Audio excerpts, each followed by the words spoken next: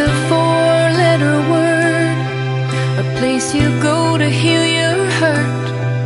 It's an altar, it's a shelter, one place you're always welcome. A pink flamingo, double wide, one bedroom in a high rise, a mansion on a hill where the memories always will keep you company.